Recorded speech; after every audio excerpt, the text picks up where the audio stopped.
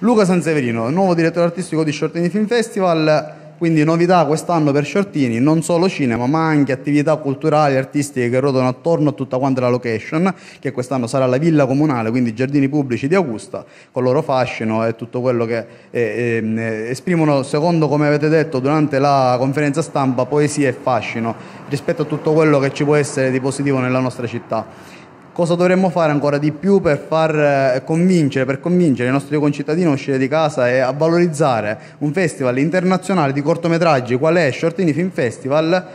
eh, ed essere orgogliosi di quello che è. L'obiettivo alto diciamo, del, del festival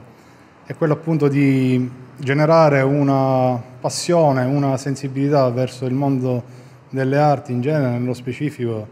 del cinema e risvegliare quella esigenza naturale che è insita in ognuno di noi nei confronti di tutto ciò che ci circonda. No?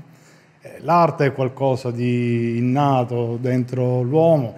e speriamo che la cittadinanza di Augusta possa attraverso questi quattro giorni risentire quel calore interno che li porterà presenti all'interno dei quattro giorni della manifestazione, del concorso di Shortini e riscoprire qualcosa che in qualche modo contrasti quell'appiattimento culturale che purtroppo da troppo tempo dalle nostre parti è vigente. Durante la conferenza stampa avete marcato fortemente due parole eh, che sono mafia e legalità.